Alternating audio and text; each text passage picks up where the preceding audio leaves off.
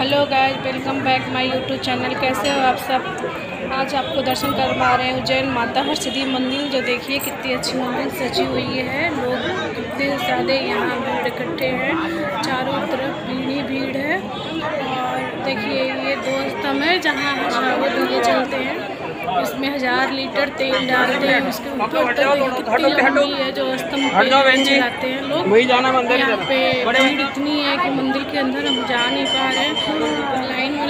पड़ेगी और हम छोटे बच्चों लेकर खड़े हैं, इसलिए हमें थोड़ी ज़्यादा टाइम लग जाएगी। इसलिए हम बाहर से ही दर्शन कर रहे हैं। माता हरती सिद्धि का देखिए मंदिर सामने ही है और हम लोग यहाँ पे माता हर सिद्धि का आशीर्वाद ले लिए।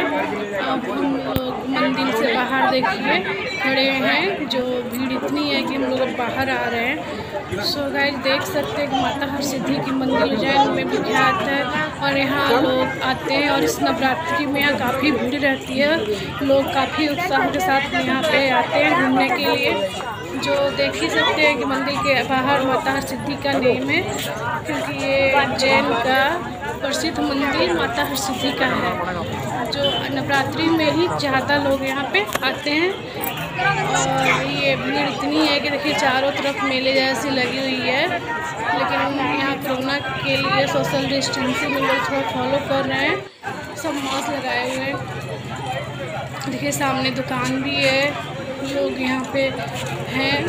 हम लोग भी हम मास्क होके आए सो आप लोग मेरे चैनल पे नए हो तो लाइक सब्सक्राइब ज़रूर करना। और लास्ट तक बनने के लिए थैंक यू वेरी